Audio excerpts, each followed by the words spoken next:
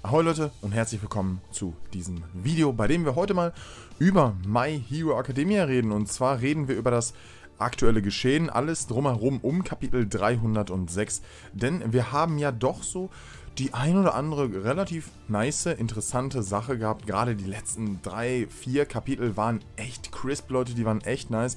Aber das äh, aktuelle Kapitel, also Kapitel 306, hat große Fragen aufgeworfen, hat vor allem dafür gesorgt, dass wir uns jetzt fragen müssen, in welche Richtung geht es jetzt in My Hero Academia? Haben wir bald überhaupt noch das Academia im Namen? Darüber werden wir in dem heutigen Video reden, wie es sein sollte. Ja, ist natürlich klar, wenn wir über, Manga-Content reden. Ihr werdet dann natürlich gespoilert, wenn ihr nicht auf dem Manga-Stand seid. Ne? Falls euch das trotzdem interessiert, bleibt gerne mal dran und meine Meinung wird hier erstmal rausgeballert. Also Leute, wir hatten ja zuvor das ganze Flashback mit Ende war, beziehungsweise das Todoroki-Flashback, sage ich mal so. Dazu hatte ich ja schon mal ein Video gemacht, auch wenn da noch nicht das Ganze abgeschlossen war mit Darby beziehungsweise mit Toya. Hat mir sehr gut gefallen, dieser Ende war Redemption Arc, der ja auch irgendwie immer noch anhaltend ist, wenn man sich gerade jetzt Kapitel 306 anschaut. Denn das war ein Kapitel, was sehr irgendwie in eine Richtung gedeutet hat, was uns sehr eine Richtung aufgezeigt hat, in der wir gesehen haben, okay, die Charaktere bzw. die Welt von My Hero Academia in Japan, muss man ja immer sagen, in Japan, die geht jetzt genau in diese eine Richtung. Und ja, wir haben erstmal, reden wir darüber, was wir bei Deku hatten, denn das ist ja auch am interessantesten gewesen, die vergangenen Kapitel. So ein bisschen, ich habe immer gesagt, das ist irgendwie so das, das, ja, das Coordinate-Ding irgendwie in My Hero Academia, denn uh, One for All, die Kraft uh, von Deku, ist etwas Besonderes, das wissen wir alle nicht erst seit heute, sondern das wissen wir natürlich schon ein bisschen länger. Und wir haben ja schon in der Vergangenheit hier und da immer mal wieder vorherige Nutzer von One for All gesehen. Natürlich immer nur so bruchstückmäßig. Das erste Mal war es, glaube ich, in Staffel 2, wenn mich nicht alles täuscht, wo wir das gesehen haben.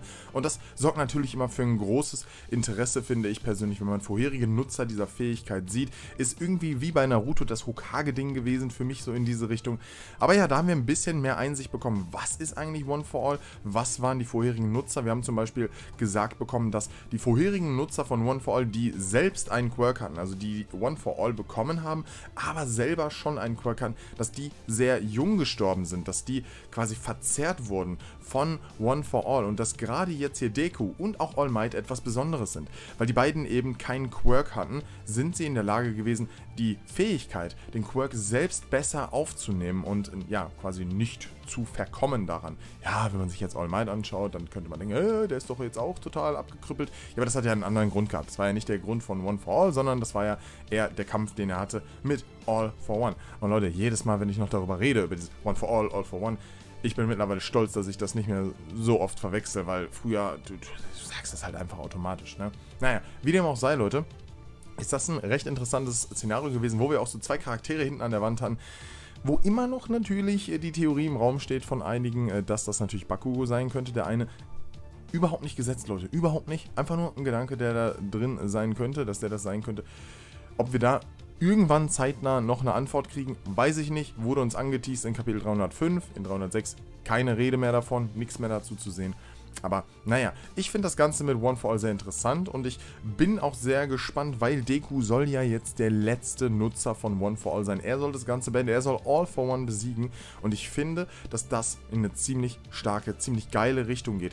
Deku muss jetzt erwachsen werden. Er muss jetzt die Phase seines Lebens einläuten, in der er der Held wird, der Retter wird. Und gerade Kapitel 306 hat uns mit dem Cliffhanger nochmal gezeigt, holy shit, äh, man hat hier die Batman-Referenz genommen und dass Deku hier wahrscheinlich auf so eine eigene Trainingsreise geht vielleicht, auf so einen eigenen Trainingsarg geht, auf so einen Selbstfindungsarg geht und das kann richtig, richtig gut werden. Gefällt mir wirklich, in welche Richtung der Charakter Izuku Midoriya hier geht und ich hoffe, er wird genau zu dem Charakter, den sich viele von uns erhoffen. Klar, könnte man jetzt sagen, ja, aber Kev, warum denn? Horikoshi, warum soll er das denn alles immer machen, wie die Zuschauer das wollen? Ist doch vollkommen egal. Warum? Man kann doch wünschen, ne? Und von daher denke ich mal, dass das in diese Richtung gehen wird und dass Deku über kurz oder lang seine Fähigkeit One for All komplett beherrschen wird.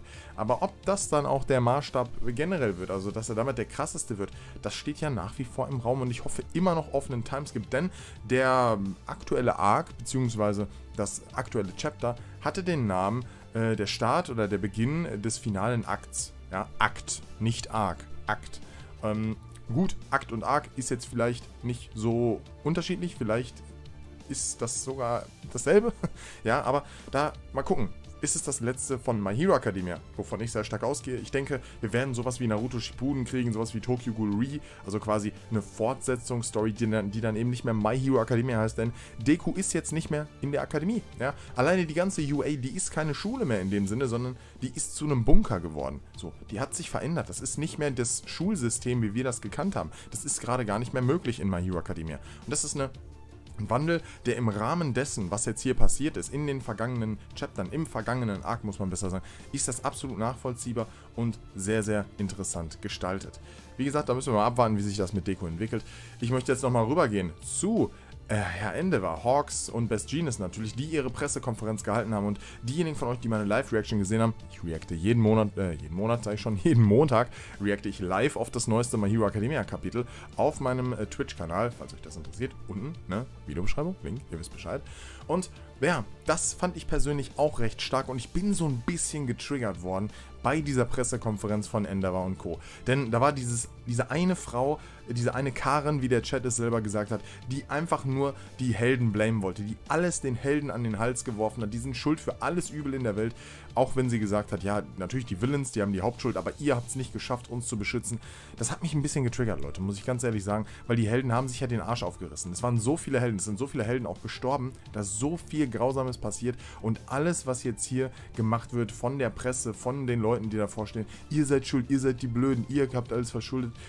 andere Helden hören mit ihrem Heldenjob auf. Es ist wirklich eine krasse Situation in My Hero Academia, die mir sehr, sehr, sehr, sehr gut gefällt, aber nichtsdestotrotz finde ich sowas immer scheiße, wenn da sowas gemacht wird, allen, äh, alles Schuld immer nur auf einen drauf fällt oder auf eine kleine Gruppierung drauf fällt. Das war da, ist natürlich sehr realistisch. Auf jeden Fall hat Horikoshi sehr, sehr gut gemacht, weil es realistisch ist.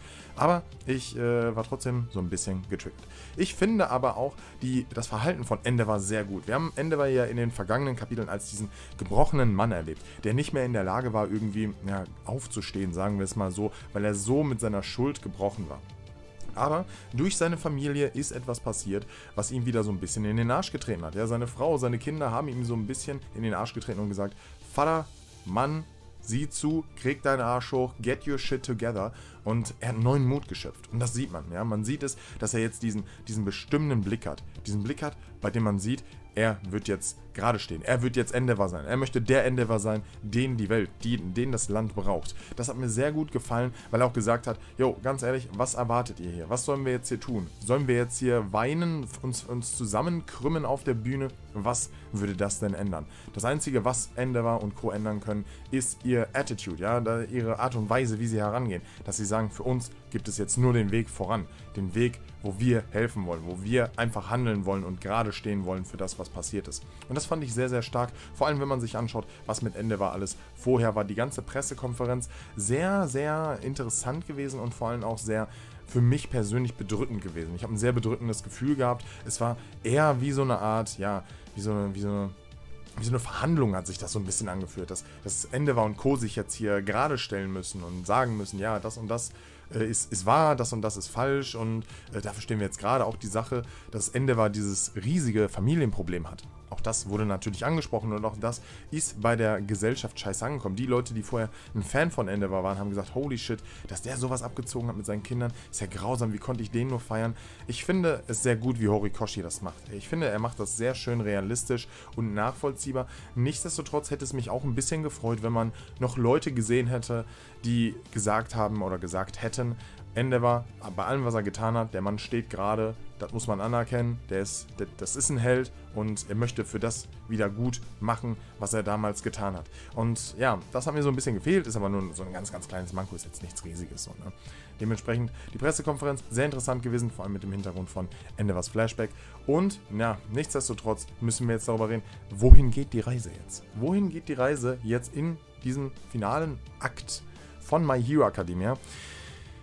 Ich rechne natürlich nicht damit, dass wir irgendwie in diesem Arc, Akt, ich nenne es jetzt einfach Akt, dann kann mir niemand in die Kommentare schreiben, aber Kevin, es ist ein Akt, es ist kein Akt. So, deswegen sage ich jetzt Akt die ganze Zeit, dass in diesem finalen Akt irgendwie ähm, sofort Shigaraki besiegt wird. Das kann ich mir nicht vorstellen. Was ich mir vorstellen könnte, ist, dass in diesem finalen Akt ähm, ja, All for One besiegt wird, dass er wegfällt und Shigaraki dann die übergeordnete böse Position ein, einnimmt. Das kann ich mir sehr, sehr gut vorstellen, denn das ist ja auch gerade das, was noch so ein bisschen in der Schwebe ist. Dass eben eigentlich Shigaraki der Böse sein sollte, aber es ja nicht wirklich ist weil All for One immer wieder seinen Körper übernimmt, immer wieder dirigiert, was er tun soll. Und ja, da muss erstmal Shigaraki selber laufen lernen und ich könnte mir vorstellen, dass das passiert, indem einfach All for One beseitigt wird. Ob das von Deku der Fall ist, ob Shigaraki das selber macht, sei mal dahingestellt. Ich bin komplett offen, was hier Horikoshi macht. Ich hoffe einfach, es kommt ein guter, starker Arc jetzt hier mit Izuku, wo er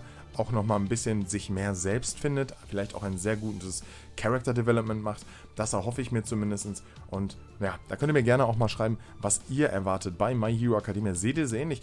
Wollt ihr auch so etwas in diese Richtung haben? Wollt ihr einen Badass Izuku? Beziehungsweise ich glaube, den haben wir eigentlich auch schon in gewisser Art und Weise über einen längeren Zeitraum. Schreibt mir das gerne mal in die Kommentare. Wie fandet ihr generell diese ganzen, man muss es ja sagen, es sind ja so Laber-Chapter gewesen, wo sehr viel erzählt wurde, sehr viel abgehandelt wurde. Wie fandet ihr das Ganze? Schreibt mir das gerne mal unten in die Kommentare. Lasst uns mal so ein bisschen darüber diskutieren und gucken, wie eure Meinung ist. Und ja, Leute, falls euch dieses Video gefallen hat, ihr wisst Bescheid, Leute immer mit einem Däumchen nach oben. Damit zeigt ihr mir, dass ihr Bock auf mehr solcher Reviews habt zu My Hero Academia. Ich kann mir auch sehr gut vorstellen, dass ich das sobald Final Season vorbei ist, ja, wöchentlich mache, weil die Nachfrage ist da, Leute. Wir kriegen immer so 4000 Leute zusammen, die für die Videos da sind. Finde ich sehr, sehr nice. Und ja, schreibt mir eure Meinung unten in die Kommentare und abonniert kostenlos, falls ihr das nicht schon getan haben solltet.